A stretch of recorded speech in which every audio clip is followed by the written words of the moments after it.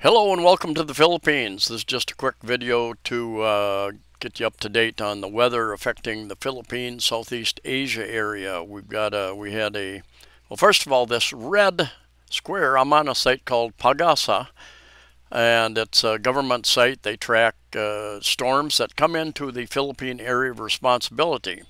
And this red line here, this box is where the Philippines area responsibility is internationally to track storms. And what happens, a storm will have one name outside of that box, an international name, and the Philippines changes the name um, once it goes in there. And it's Aghon in, in the Philippines area responsibility, and uh, Ewiniar, Ewiniar, when it goes outside. So when it goes back out here, it'll change its name. A little bit confusing. But anyway, that's what it is. So it started off as a tropical depression. We had a couple days of uh, relatively light rain across uh, throughout the days. A couple days ago, and we've had mostly cloudy skies for a couple days. So I've had my windows open and nice breeze coming through. A couple degrees cooler than normal, uh, which is very nice. Uh, appreciate that. And uh, we've got uh, anyway, it's even turned into a typhoon. The warm waters in the Philippine Sea out here, you have the Pacific Ocean out here, relatively cool water, eh, but you have very warm water in the Philippine Sea often.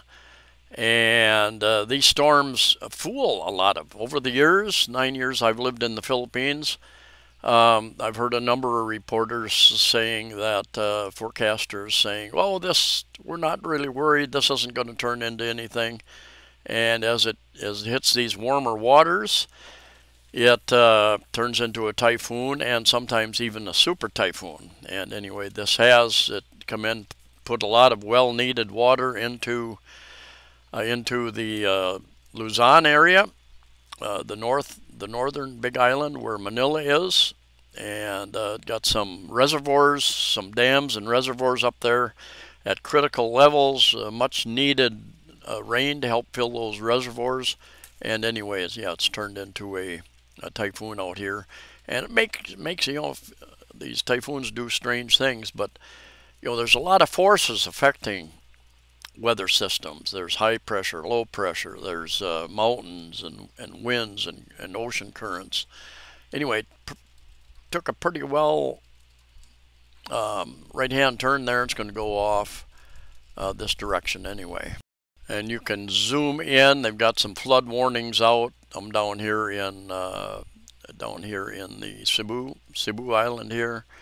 Got Bohol Island. Uh, you got uh, Negros Negros over here. Panay Island over here. But um, anyway, a lot of rain going on up there. Much much needed rain. And jumping over to another site, windy.com. You can get that on your tablet, your computer. They've got apps for Android as well as uh, as Apple phones. Very very good app. A lot of information all over the world. A lot of weather information, and uh, it's free. Uh, I pay for premium. I'm a premium member. I forget what I pay. It's not that much, but anybody that puts out this much good data uh, for free, uh, you know, I feel good about about paying what whether it's 10 20 dollars whatever it ends up being a year. And anyway there again you've got the philippines here mindanao down here. You got the visayas you got palawan over here and uh, shows you the rain uh, shows you our typhoon system here. And you've got a number of things radar satellite wind rain temperature clouds waves and uh, much much more you can get information here. Um, down at the bottom you can have several different forecast models. This is the ECMWF. Let's go to the GFS model, see what it does. Changes it a little bit, a little bit different look there. Uh, because there are several agencies around the world who track this type of thing. And let's go to the next one, Access. And they've got a little bit different. Come on, load up, computer my PLDT connection some days works better than others. anyway, you've got another one, and then you've got a third forecast model, model over here, Icon, and see what they do with it. So they're all a little bit different. You can see our winds. Uh, we're starting to get more of the southwest winds here, our south-southwest monsoon season, instead of the northeast uh, monsoons. And down here at the bottom, you can uh, you you can track this out um, because I'm a premium member. I think I can track it out further than just a free member can.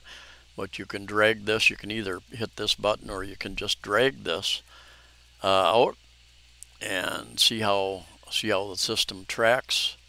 So yeah, this is uh, this is a great app to use for all over the world. Let me zoom out a little bit here, and you can get a little better idea what's going on around the world, what systems are moving around, and the USA, Canada. zoom into your part of the world, see what's going on. Uh, of course, over into Europe They've got a volcano. Our volcano still going off up in Iceland, I believe, and over here in uh, Europe and Asia, Africa down here.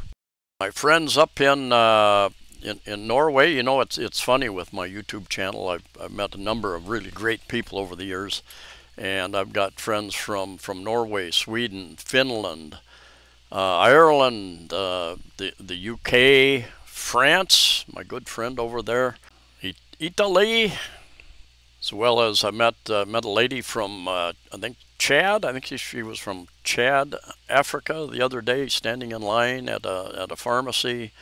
Uh, met some really good people from the Middle East, Turkey, and other countries there, and uh, across Asia as well.